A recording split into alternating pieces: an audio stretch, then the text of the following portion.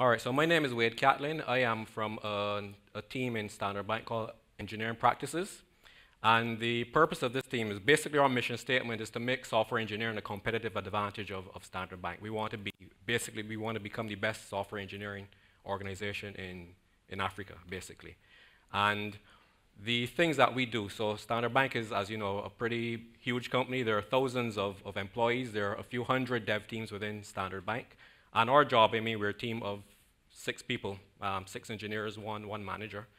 And our job is to work with the other few hundred software development teams within Standard Bank to help engage, to identify where they can improve, to, to work, sit down, write code with them, you know, and to, to generally disseminate good engineering practices within Standard Bank. So when we say good engineering practices, what do we actually mean? So when you think of, of companies with that people generally think of, of, of, of, as companies with, with good engineering practices, they tend to think of the big boys, you know, Amazon, Google, Netflix, etc. What distinguishes these companies from, from other companies? And there are a few things that, that, that come to, to hand pretty, pretty readily. So just given this example here, rate of change. You know, how many changes do these companies put in? You know, Amazon, 23,000 deployments a day. Google, 5,500, Netflix a few hundred. Whereas if you look at the standard financial institution, we're talking about like 50, 100 a month. So you're talking like a good order, two orders of magnitude, you know, less than, than, than the leaders in, in, the, in the industry. And this is just one metric. I mean, there are others that you can pick as well. Like, for instance, um, mean time to recovery. The big boys, they get stuff done. Something goes down, they get it back up in less than an hour, a few minutes. Whereas standard financial institutions could generally take a day, two days, even a week. You can pick other metrics as well. But that shows you the gulf between where, let's say, the average organization is and where the leaders with respect to software engineering is. Now, you can make the case to say, okay, well, a bank, you know, a bank has got regulators and other things that potentially slow them down that the, the, the, the tech companies don't. But even accepting that, there's still, I mean, given that there's two orders of magnitude difference, there's still things that we can do to improve the situation. And that's what we're about, and that's what we want to do. All right, so what are the things that these guys actually do? I mean, we're at a DevOps conference, so none of this should be unfamiliar to you. But basically, one of the key facilitators of becoming a good software engineering organization these days is to have a continuous pipeline, right through from discovery, integration, testing, right through the governance. You know, if you've got a continuous process, and if you've got automation, and if you've got all those things, you know, that, that the reason that DevOps exists, it goes a long way with respect to becoming a, a good quality software engineering organization. So with respect to the software quality and software engineering, so given now that we've identified where the value comes from, so we look, what are the things that we could do? One of the things that you must do before you improve, you must be able to measure, you must be able to visualize. So we went and we had a look around at the, the DevOps landscape, and there are a few categories, and we've got four basic categories listed here. And we looked at a few things. You know, we looked at Jez Humble's work with the Accelerate and the state of the DevOps practices, and we, we, we kind of settled on the Gartner model, which they've got four basic categories of, of, of metrics that, that you define to deliver value for your organization. You've got velocity and efficiency, which basically tells you, you know, how quickly you can deliver your stuff. You've got quality, which is about, you know, how good the, the, the, the code that you're delivering actually is. And there are some softer metrics, now like organizational effectiveness, which speaks to culture and the motivation of your teams, et cetera, and customer value, which is actually about you know, how your, your companies perceive and, and, and react to what you're doing.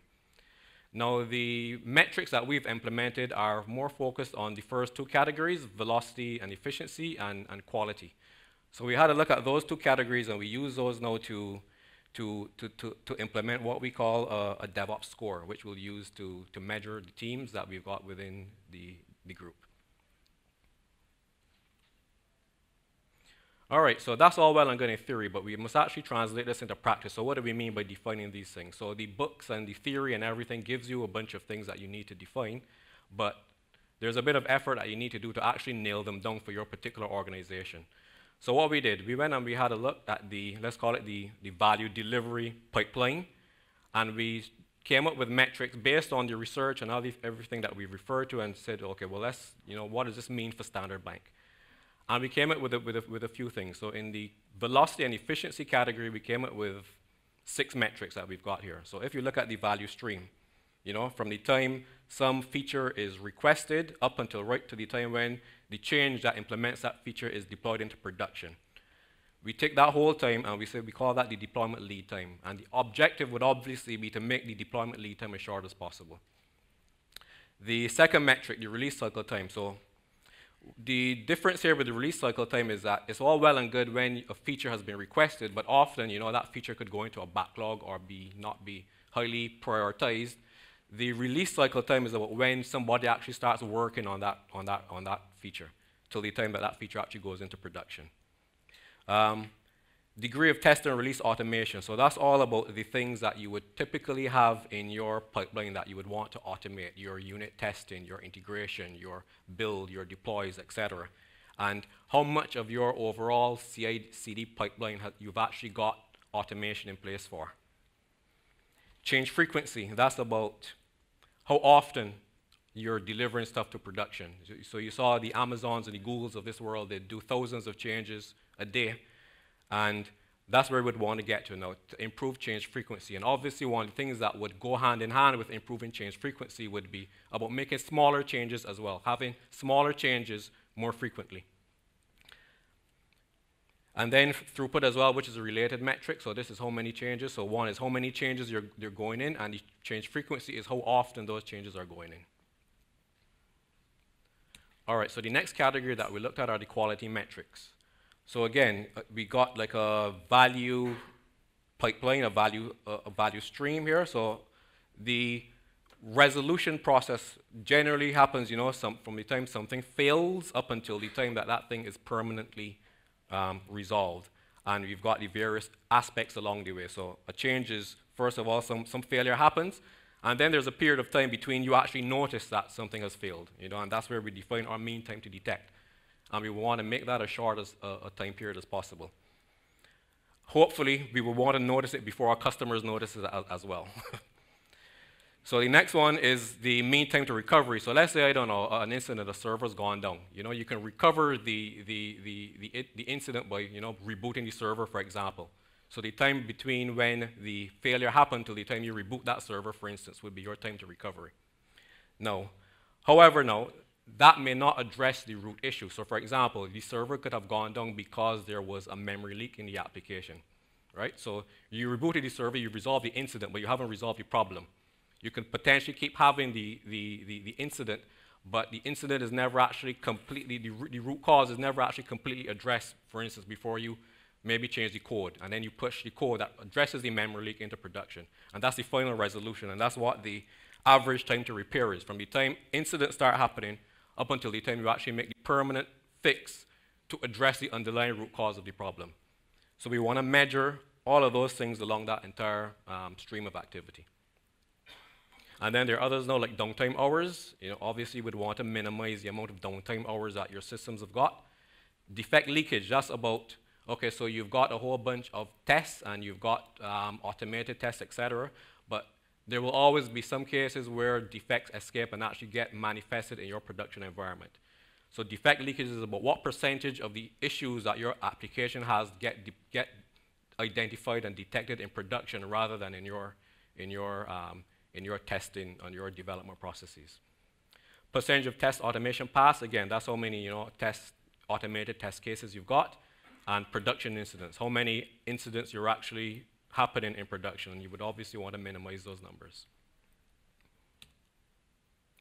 All right, so those are what so we identified those 12 metrics as where we thought would, would, would, would, would create value to the company.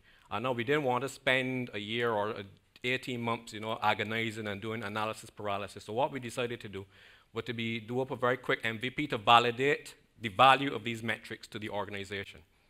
So what we did, we created a, a very simple Power BI application and we surveyed the 350 odd teams in Standard Bank to say, okay, does this make sense to you? Does, does what we've defined, does it make sense to you?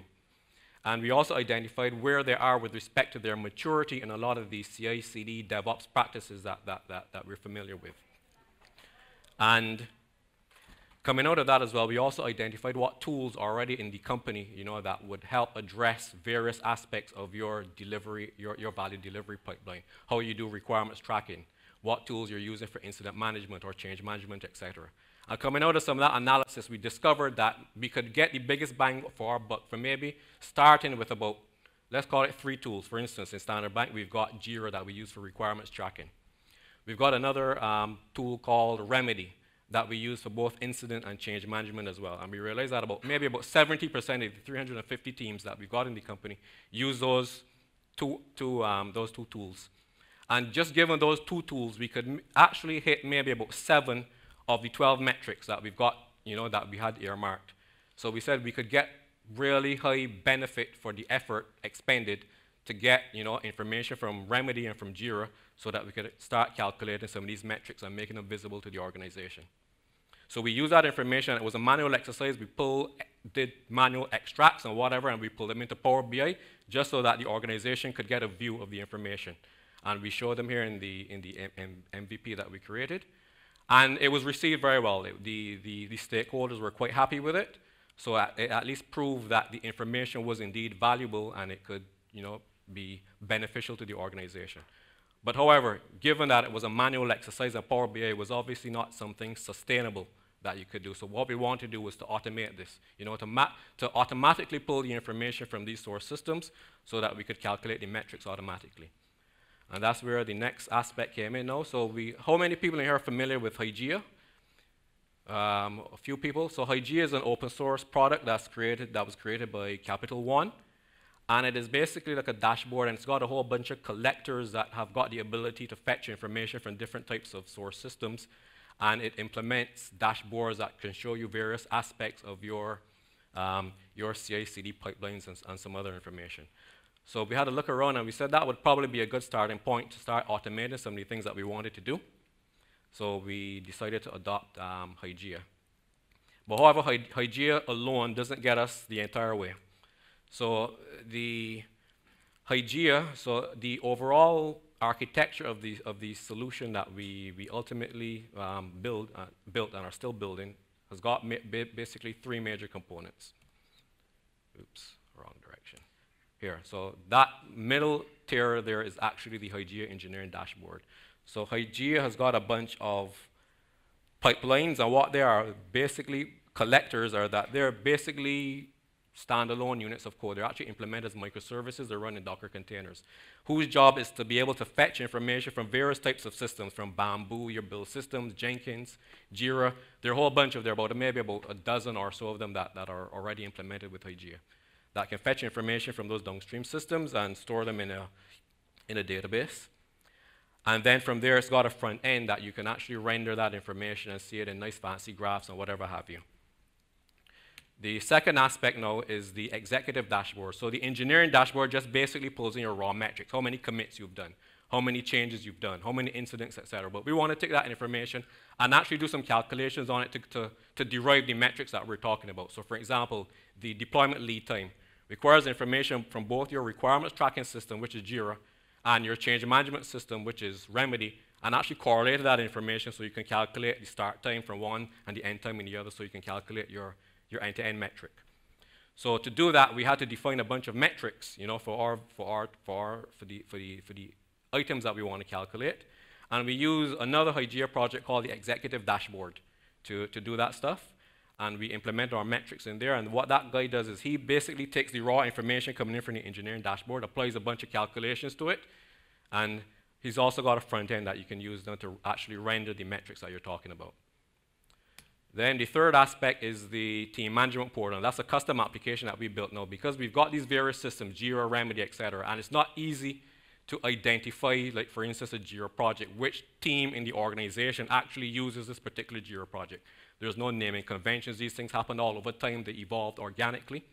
So what we use the team management portal to do is to a way for teams to basically sell in project Y in Jira and project Z in Remedy, et cetera, et cetera, so we can correlate all the information to calculate the metrics. Alrighty, so let me just switch to a quick demo of what we've produced so far. All right, so this is the Hygieia Executive Dashboard, and what you've got here, you've got a bunch of widgets that represent the various metrics. Uh, if let me do this, let me close this and make a little bit more space. that implement the 12 metrics that we were talking about, change frequency, deployment lead time, et cetera. And this is pulling in from, automatically pulling in from the collectors and pulling through to the, from all the, the teams in the organization. And here now on the left is something that we did a little bit of customizing to the, to the dashboard. So these basically represent all of the teams from a portfolio from an enterprise level. I've just scrubbed the data so you don't actually see the standard bank teams and business units here, but you can drill down and you can actually go down to whatever level. So the individual team, for instance, can go down to his specific team and see his information, whereas the CEO, for instance, would look, want to look at the whole group and see the metrics for the entire group. So if, for exa uh, example, you took, let me see one that has got some data here, details, change frequency, for instance. So then you can drill down and actually see the evolution of that metric over the course of 12 months, for instance. And you can do that for all the, the, the, the metrics that, you, that you've seen here. All right. Um, let me skip that. So what are some of the things? What are some of the things that we learned? So we're still on the journey. Um, so one thing is that you, you notice now we started with 12 and we, we, we want, we imp implemented five initially. One of the things that we thought was important, which is why I said it's also relevant to startups. You need to start somewhere and get value delivering very quickly. You know, you can't do everything at once. You need to get your stuff up so that value can come in and you can start making changes and adjusting as, as necessary. Um, the map is not the territory, so we decided to use Hygieia, an open source project, but obviously it doesn't completely cater to your requirements. You need to do your customization irrespective of whatever you do, you know, you must actually go and get your hands dirty, you know, go and make, fix code, et cetera, et cetera. Um, standardization versus, you know, autonomy of teams, which is a big issue for companies as big as Standard Bank, where you've got hundreds of people doing different things, and there's always a balance that you need to trade off, you know, to standardize to make things like this easier versus having the teams being have the autonomy to do the things that they want to do. And we haven't quite struck the balance yet. We're still going on through our process. But you know, that's one of the things that you also always need to, to take consideration of. Obviously, it's not perfect. We're still working on the metrics. We've got a few more to go, but we're still on our journey. And yeah, so that's where we are with respect to our journey thus far.